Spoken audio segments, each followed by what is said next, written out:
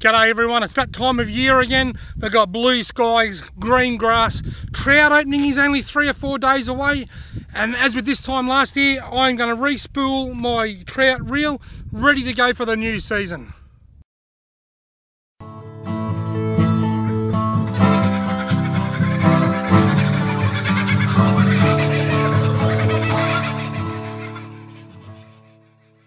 Righto folks, before I do this, I'm just going to open some mail. I've got some mail this week. I'll open the mail, then I'll get stuck into how to spool up a trout reel. Hey Robbie, you've got mail. You better check your mailbox. Okay Robbie, thanks mate. What's the address?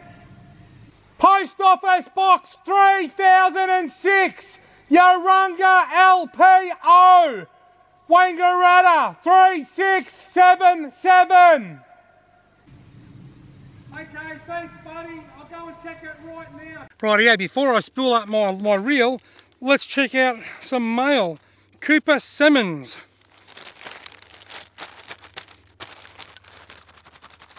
Hmm, very interesting.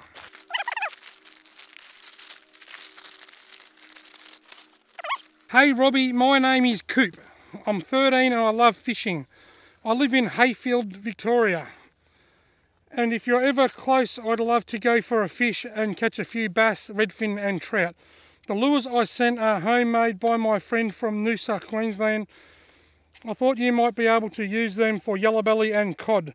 The lures dive to about 1.5 to 1.8 metres and have an awesome action. If you're ever near Heyfield and want to go fishing, here's my phone number.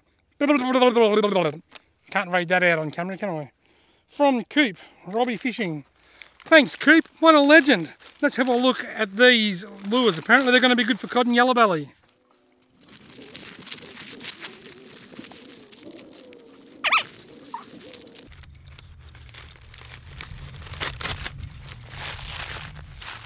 These look really cool. I've just got to give the rubbish to my assistant because it's a bit of a breeze and I'm out in the middle of a paddock. Can you know that for me?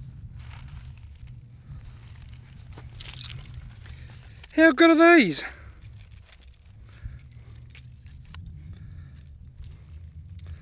They're homemade lures made of timber. I'll just come over here a little bit. Homemade timber lures. Good for cod and yellow belly. They look excellent for yellow belly.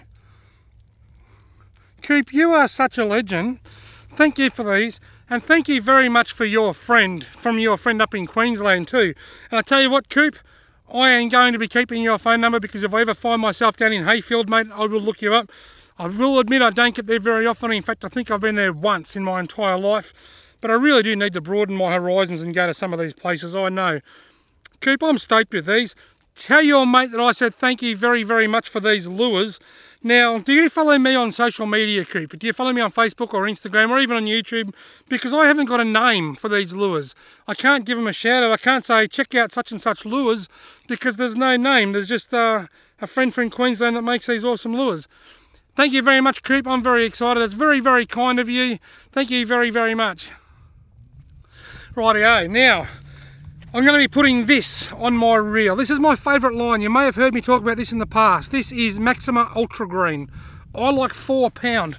Maxima Ultra Green is monofilament line. I don't like to use braid on my trout reels for a number of reasons. Some people prefer braid and that's perfectly fine. We've all got our own favourites and we've all got our own preferences.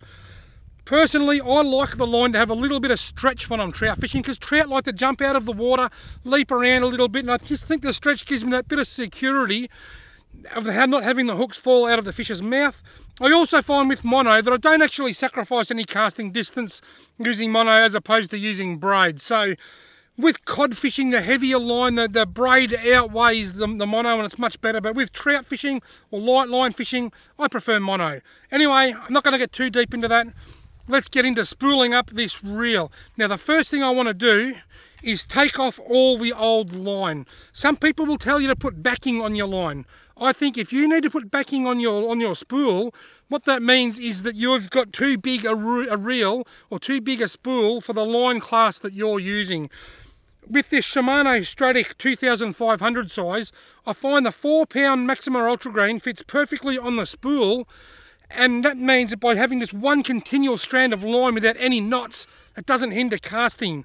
Once you start using backing and tying line onto it, you put a knot in your line. And once you've got a knot in the line or in the spool, when you cast and you start getting down low on line, you can guarantee that just when you're trying to place that perfect little finesse cast, that the line's going to hook up on that knot and stuff your cast up. So I'd like to just have one lot of line tied to the spool, tied to the lure, no knots in between.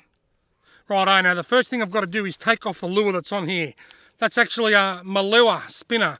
I done a bit of a review of these last week. I was up at Stanley Dam and that's been on there ever since. I'll sit that here on my trusty tripod. Now what I'm going to do is open the bail and just pull all the line off. Right, yeah, at the bottom by the looks of it. Yep. I'll break that off there. Pull that out through the rod. Now, this is the most important part. Never ever leave fishing line laying around because a lot of birds, particularly magpies, are notorious for it, but a lot of birds will pick up this line and use it to go and line their nests. They'll actually use it in their nests and they'll also get it tangled around their feet. And I have seen dead magpies hanging from trees with fishing line around their feet. That is not cool at all. So it's very, very important that you get all your rubbish line, all your old line. I've still got quite a bit out here. Right, there it is all there.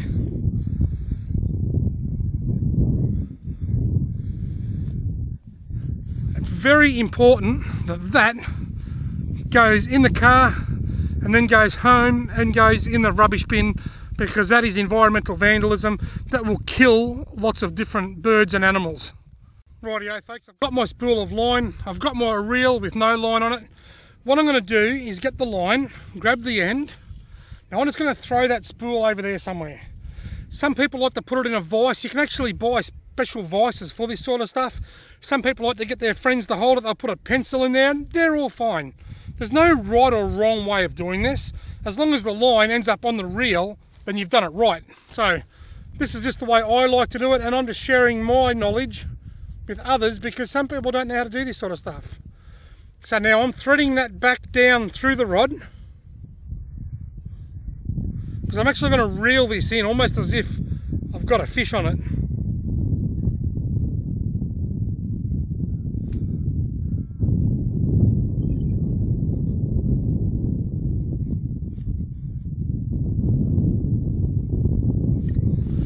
Now it's time to tie it to the reel. Now I've got my wife beside me here with my other camera. She's going to zoom in close on this because there's a very important step here that you need to know when you tie a line on. Rightio now because I haven't got a table I'm out here in the middle of a paddock I've got to get down on my hands and knees and do it at ground level. The first thing you need to do is remove any uh, manure. You must have got manure for your brains. That's a line from a Chevy Chase movie. Right, now there's two very important steps here. The first important step is to make sure that the spool is open. If the spool's closed, when you tie the line on, what will happen is you won't be able to reel the line in. It just simply just won't work. You have to open the spool in order to make sure that the spool catches the line so that you can reel it in. That's the first. Now, there's no special. That's the first important thing.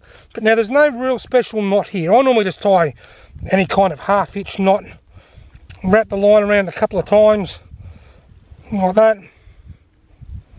That that's tied on there now. Now, what I'll probably do is just cut that tag off before I reel it in. That's the first really important tip.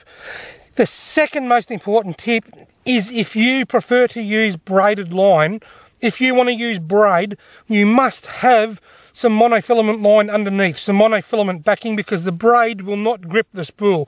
This mono, because it stretches a bit, it'll pull tight and grip the spool. Braided line will not grip the spool, and when you turn, the reel will turn, but the line will stay still, and you'll have to strip it all off and either waste a lot of line or go to a lot of trouble to re-spool.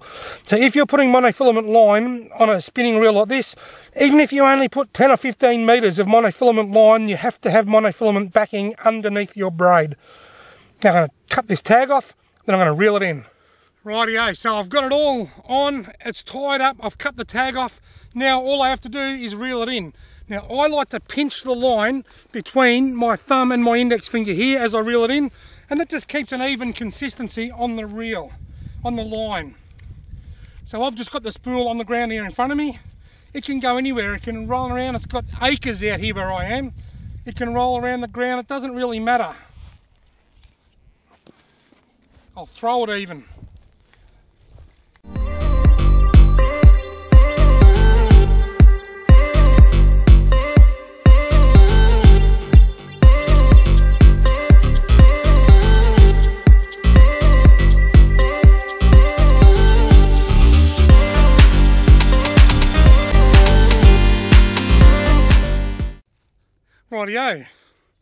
My wild bait rod, my Shimano Stradic, fully spooled and ready to go. One other really important tip is not to put too much line on. Just because you buy a spool with 250 metres of line doesn't mean you have to put 250 metres of line on.